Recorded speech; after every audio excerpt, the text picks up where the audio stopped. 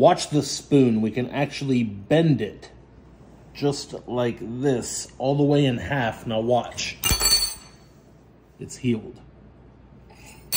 All you need to do this trick is a spoon and a coin. This is all about how you grip the spoon. You're gonna start out by wrapping your pinky finger around the base of the spoon just like this. Wrap the other fingers just like that. Now right here, you're gonna pinch the coin in between your thumb and the side of your forefinger. Hide the back of the spoon behind your hand and position it so that from the front, it looks like you're just holding the spoon in your grip. Now to create the illusion, all you're going to do is this motion right here. You're gonna let the spoon fall back only grip it with your pinky finger while you push this forward and it's gonna create this illusion that the spoon is just magically folded in half like this. Now to restore it, all you're gonna do is cover the coin. You drop the spoon on the table dramatically, then you're gonna pick it up and show it off to your audience.